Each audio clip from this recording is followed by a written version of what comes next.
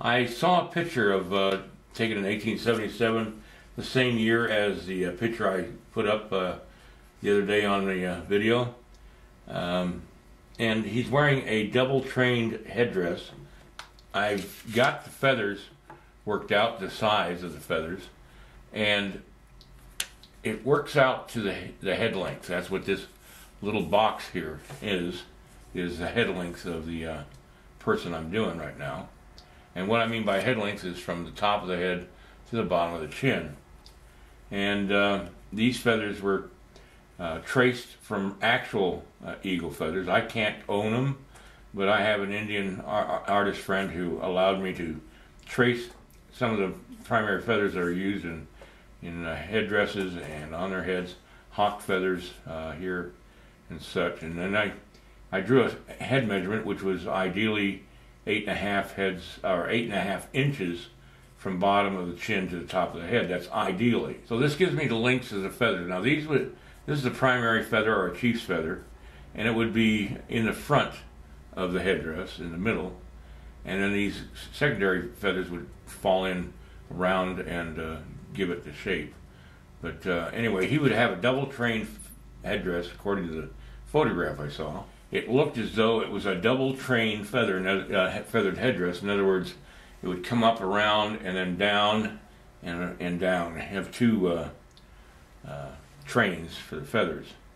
So I'm thinking that's what I'm going to do. Um, anyway, that's what I'm going to do. Um, I'm going to basically just do flat um, today, just flat. Uh, well, I'll show you. It's going to involve my uh, pasta machine. And I'll be rolling clay through this. Let's see if this clay ready to roll through the uh, roller, the uh, pasta machine. What I need to do is first get it softened up a little bit more than what it is. And uh, I think that should be good. Now let's try it in the uh, pasta machine.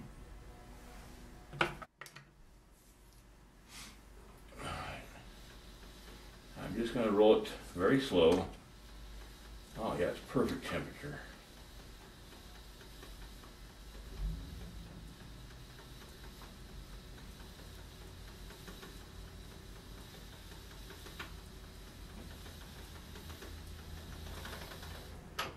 I had an artist friend who uh, taught me that little trick, and it's a rather good one. Okay, it's uh, about half the length of the feathers it should be, so what I'm going to do is cut this in half and join the two halves.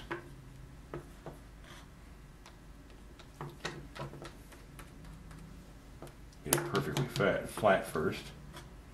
Not fat, but flat. And then I'm just going to overlap the edge just a little bit. Combine the two uh, rolls. What I'm going to do is just work out the pattern of the uh, effect of the wind on this headdress first before I go through all the trouble of making the feathers. But what I'm going to do is uh, remove this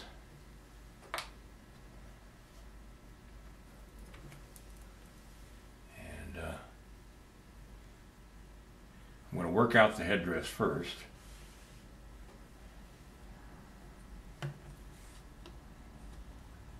I'm going to cut it at an angle.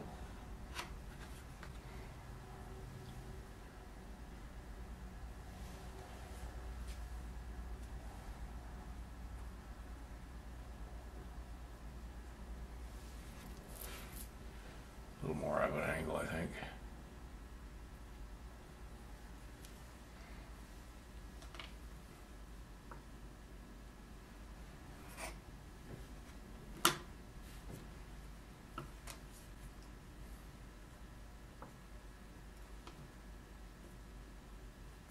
Going to fold over it on itself and cut the same angle on this other side as I cut on that side.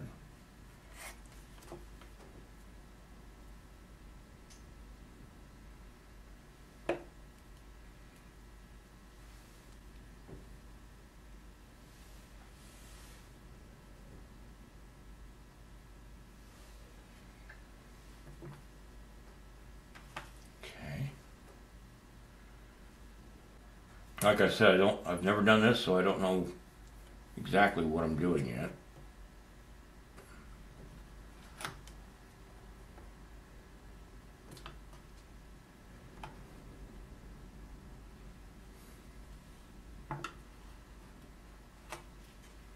Okay, I'm, I'm cutting the same size section out of the next little piece. Let's go ahead and put this back on. I'm putting this on as if there's no wind at all right now, just to work out the shape of the headdress. Then I'll work out the uh, angles later. Later.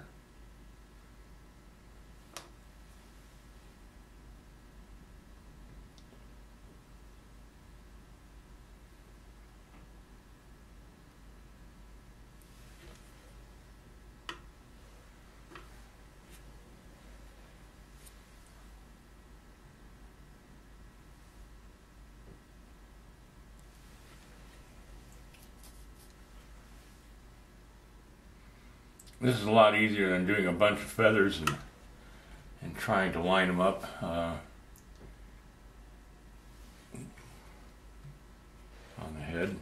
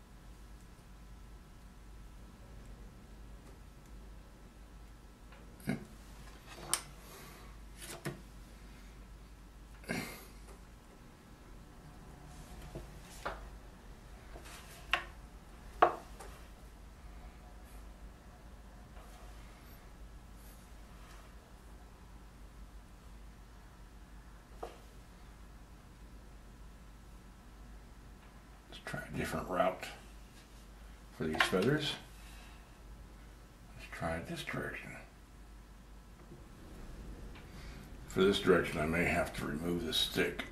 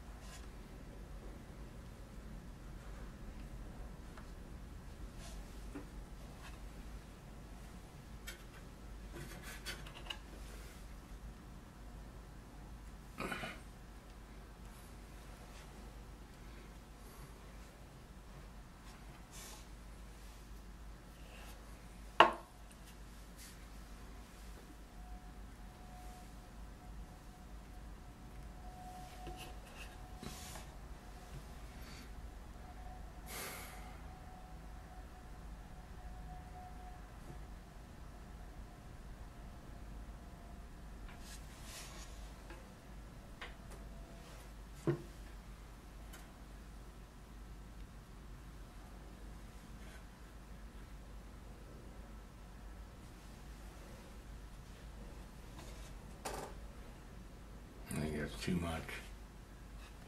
Way too much.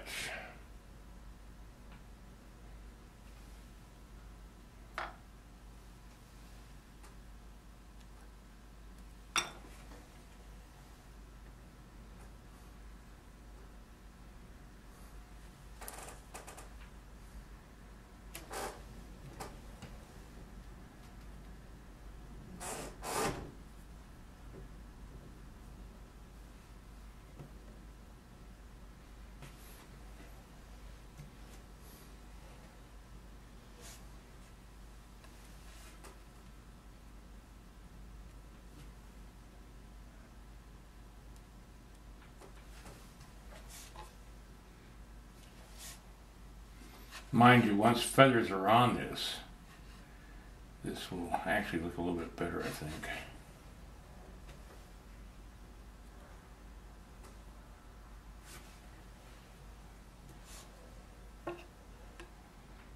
That doesn't look too bad. Like that.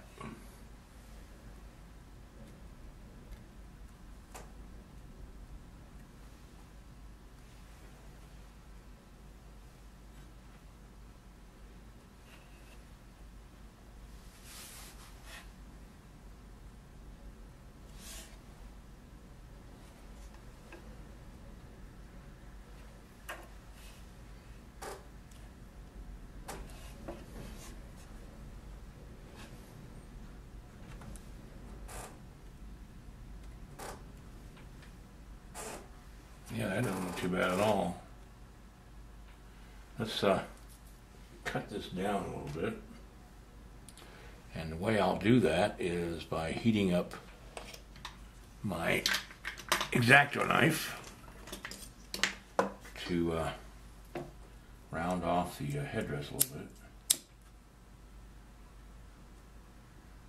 If I heat up the blade, it'll cut through the clay a lot easier than if it was cold. So let's go like that, and like that, and like that.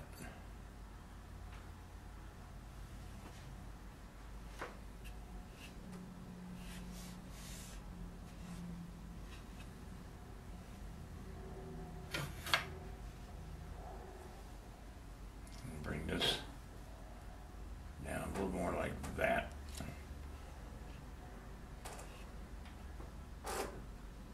Yeah, I just wanted to show you how it's looking uh, at a different angle.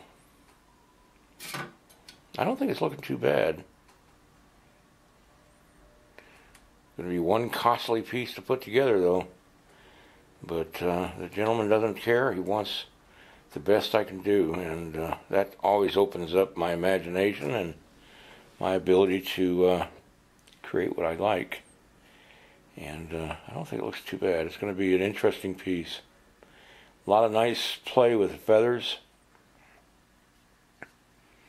And uh, it is going to be interesting.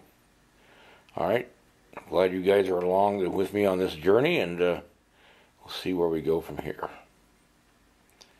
Touch the clouds.